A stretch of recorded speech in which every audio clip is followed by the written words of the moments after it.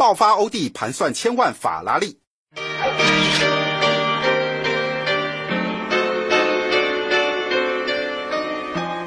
俩是把心酸化作喜悦呈现给你的两代谐星欧弟和他前女友的干爸瓜哥哎。苹果昨天之际，他们说心酸也没多心酸，满心喜悦的结伴 AI 看超跑去耶。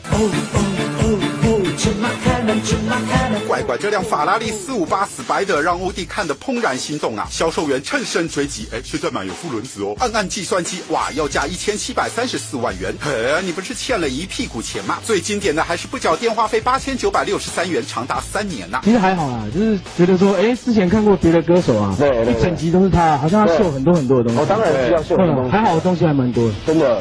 真的吗？欧汉声出道以来，动辄跟曾经同团的小猪相提并论。来看小猪东西有多少？哎，二零一一年开奥迪，二零一二年被直击开马麻送的保时捷，今年换开 X Six，哎呦，秀过真的不少好东西呢。这个欧弟债务减轻后，恐怕是要急起直追永远跟他相提并论的小猪啦。我们发现他现在也驾着跟小猪是同个 B 牌的一二零 i 代步，然后最后还回了几年前因欠钱遭扣押的大直豪宅。哎呦，这间案每单位含车位总价近亿元呐，看来欧弟是守得云开见月明。